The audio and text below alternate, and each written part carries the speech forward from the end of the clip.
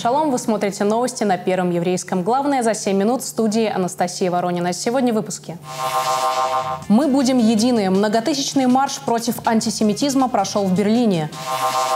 Новый рекорд. Израилю присвоили звание страны с самым большим трафаретным граффити в мире. Запах хвои и цитруса. Горская еврейская община отметила Суккот. В Берлине более 10 тысяч человек приняли участие в марше против антисемитизма, который подготовила правозащитная организация «Неделимые». Под лозунгом «Мы будем едины» шествие началось от площади Бебеля, где нацисты жгли книги, противоречащие фашистской идеологии, а завершилось у новой синагоги в центре столицы. Жители других немецких городов в знак солидарности жертвами нападения на синагогу в Галле тоже поддержали эту акцию. Неравнодушные люди несли флаги «Нет нацистам» и «Правый террор угрожает нашему обществу». Воспитанники Калужской школы-интерната номер один увековечили память погибших в гетто во время Великой Отечественной войны. Трагическая история былых лет, рассказанная на классном часе, очень тронула ребят. Они решили облагородить место мемориального знака, посвященного мученикам. Учащиеся восьмого класса вместе со своей учительницей Ириной Кучиевой убрали территорию от мусора и своими руками сделали выжигание с надписью о безвинных жертвах фашизма. Джейм Эйм, 46-летний уроженец Великобритании, с 2006 года проживающий в Израиле, создал трафаретное граффити общей площадью 267 квадратных метров. На произведении запечатлена сцена из комедийного мультфильма «Лего фильм Бэтмен». Эту картину признали самой большой в мире. Успех Джейма Эйма, другие работы которого украшают стены в Голливуде, Нью-Йорке и Стене безопасности в Израиле, записали в книгу рекордов Гиннесса. Ранее самое высшее достижение по трафаретному граффити принадлежало Объединенным Арабским Эмиратам, изобразившим сцену из мультфильма «Супермен против Бэтмена». С танцами и песнями, цитрусами и хвоей в новом общинном центре в Сокольниках большая дружная семья горских евреев отметила Суккот. О красочном празднике Кущи расскажет наш корреспондент. Этот праздник пахнет хвоей и цитрусами, а над головой обязательно должны быть звезды. А если не эти небесные светила, то уж точно еловые ветви. Шалаш с такой крышей – единственное укрытие евреев в праздник Суккот. Праздник Кущи горские евреи Москвы отметили в своем втором доме на территории нового общинного центра в Сокольниках. Его активно обживают. Недавно здесь встретили 5780 год. Теперь пришла очередь самого красочного праздника – организовать вечер для большой и дружной горско-еврейской семьи помог президент Международного фонда Стмеги Герман Захарьяев. Естественно, келабира бира, имра хаде, амбара келеджига, амбара хубоджига де бира. И мисал, сокольники кюм бойдет ското гирохунда, салига естественно, нешта жазы келата ското имбо, Худокумак, хубасал, мазалманда, саларям Худокумак.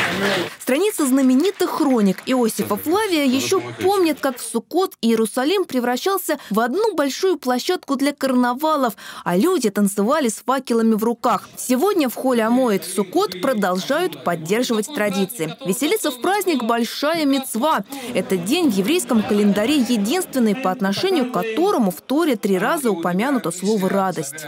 Сколько дней уже сегодня э, Мушер Абейну с нами, четвертый вечер, четвертый день праздника начался. Еще не было ни капли дождя не упал на пол этой суки. И в Москве тоже. Это большое дело. Это уже говорит о том, что Бог, Шхина, Он с нами. Авнеров Шалумов с собой на праздник решил взять самых близких, друзей. Я чувствую радость, я, я чувствую веселье. Это самый веселый праздник. У всех, э, слава Богу, хорошее настроение. И еще радостней было от звуков музыки. Этот праздничный вечер украсил голос любимого певца горско-еврейской общины.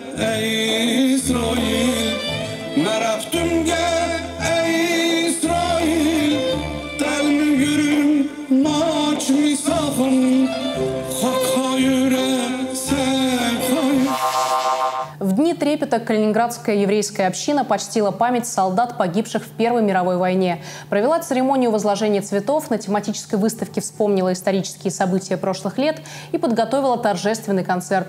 Подробнее в нашем следующем сюжете.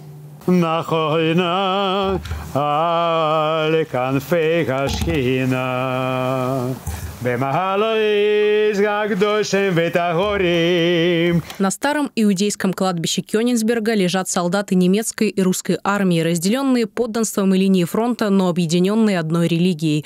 В церемонии возложения цветов у монумента героям Первой мировой войны на Гвардейском проспекте Калининграда приняли участие представители Минобороны России, аташе посольства и Генерального консульства Германии. Вспоминаем вот эти судьбы этих, э, этих евреев, которым выдалось э, жить и служить, и пасть за Родину в те сложные времена. И для нас, наверное, это очень важный. Открытие мемориального знака на еврейском кладбище приурочили к 105-й годовщине со дня сражений на территории нынешней Калининградской области.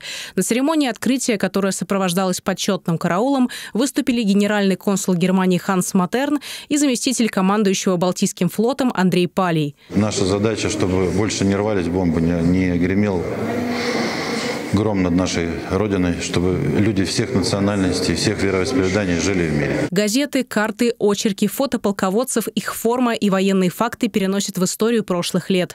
В новой Калининградской синагоге, в музейном пространстве которой участники церемонии познакомились с выставкой «Евреи на Великой войне». Вот тот самый юноша, он не погиб в бою, он э, погиб при взрыве водонапорной башни в в Инстербурге, в Черняховске. Среди множества интересных вещей выделяется работа немецкого художника Эрнеста Либермана «Портрет солдата царской армии, горского еврея». Выставочные экспонаты хранят в себе память о всех погибших в годы Первой мировой войны. Спустя сто лет не надо делить те кости, которые находятся в тех могилах. Надо воздать должное тем людям, которые исполнили свой долг до конца. Память, доблесть и гордость о героях, отдавших жизнь за светлое будущее, о тех, кто, не жалея себя, сражался за Родину, будет бережно храниться в сердцах, в стихах и песнях.